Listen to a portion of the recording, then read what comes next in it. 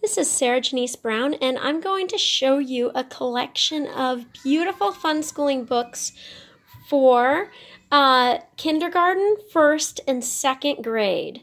And all of these are gender neutral. They're great for kids who struggle with dyslexia or other reading and writing problems. And I'm going to show you math, language arts, music, um, and uh, as well as science, geography, field trips, and dyslexia games. So all of these are gender neutral. They're also uh, secular journals. They just don't have any references to the Bible in them. And I think you're going to love them. So let's take a look. So here are three core journals. This would be the first one that the child might use. It's for preschool, kindergarten, or first grade. And they would use it along with this one and this one. And then um, this one is really good for uh, second grade, and this one is also really good for second grade. Uh, I said I wasn't going to do gen, it was all gender neutral, but we do have a Princess Ballerina one on the same level. So, besides that one, it's all, it's all gender neutral. Um, okay, so we have piano lessons for kids, so you can make sure they um, get their music lessons in, and you don't have to have a piano or a piano teacher. If you have a piano app or a keyboard, you can use this amazing Teach Your Child piano book, and it comes with a series of videos that teach the kids everything they need to know that's not in the book. This is the field trip journal so the kids can get to know their own community. This is the Nature Study Outdoor Science Journal. It was designed for older kids, but we found that younger kids absolutely love this.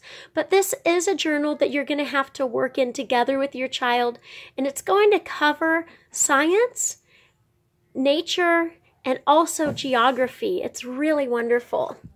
Um, here are two language arts uh, books. This one is a classical poetry collection, and this is Teach Your Child 100 Words to Read, Write, Spell, and Draw. And uh, they're both wonderful books, especially for kids who love animals and rhymes.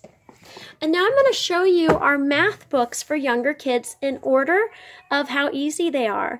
This is when you're just beginning to count. This one is uh, beginner math. This one is comic book math, a fun schooling journal. This is when they're starting adding and subtracting.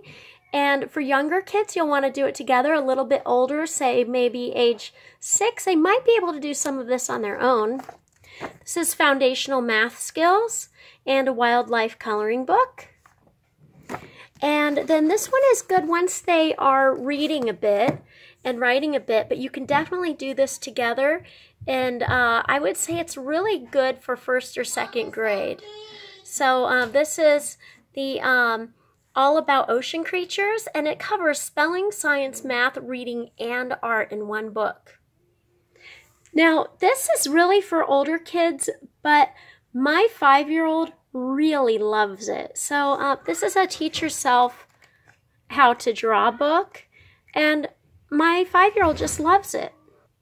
Now, this is the Dyslexia Games series. It's Dyslexia Games Series A for 5 to 8-year-olds who struggle with learning how to read and write. If you have a child that just doesn't respond well to any of the, um, the curriculum you've been trying, this would be something wonderful to use with them. I'm also using this series with my kids who speak English as a second language, and it's been wonderful. So uh, these are just a few books that could work really well for your five, six, seven year old or your eight year old that's still struggling with reading and writing. And it's normal for eight year olds to study, struggle with reading and writing. Some eight year olds just aren't ready. So, um, I hope you enjoy these, and you can find them all at funschoolingbooks.com and dyslexiagames.com. Thanks so much.